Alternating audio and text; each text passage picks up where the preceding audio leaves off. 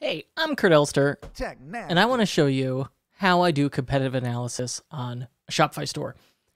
And what's great about Shopify is they're excellent at SEO. They're so good, they generate a sitemap.xml file for you automatically.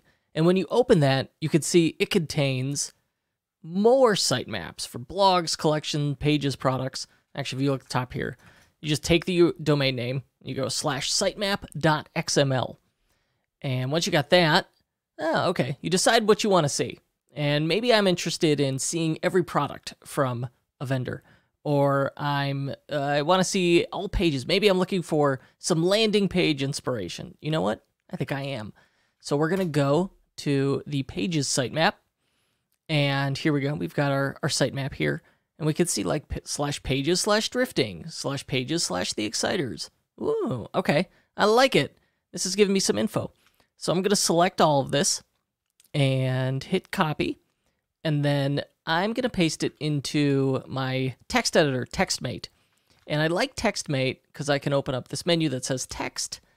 And uh, let's see, I'm sorry, bundles, text, sorting, sort selection, and remove duplicates. Cool. Okay, all right, we're getting somewhere here. If I take these lines out and take this out, now I've got a bunch of URLs wrapped around the word LOC, loc, as in location. So I'm actually just going to find and replace those to get rid of them. Replace all. Oh, all right, those are gone. And I'm going to do it on this other one. All right, now I have a list of URLs, but I want to see all these really quickly. So I'm going to select all, hit copy. And if we look at my extensions, I've got this really cool one called Copy All URLs. It lets you copy and paste a bunch of URLs. Ooh, and going backwards, uh, if you don't want to mess with a text editor like TextMate, like me, because I'm a big nerd, you may not be. You could use, I found this, uh, I Googled it real quick, found it for you. It's called Text Fixer Remove Duplicate Lines. It looks like this website will do exactly the same thing. Okay. We've got our URLs, and I've got this this extension called Copy All URLs. So those URLs are sitting in my uh, clipboard. So I'm going to hit paste. Watch this. This is so fun. Come on. It's got to think. It's thinking.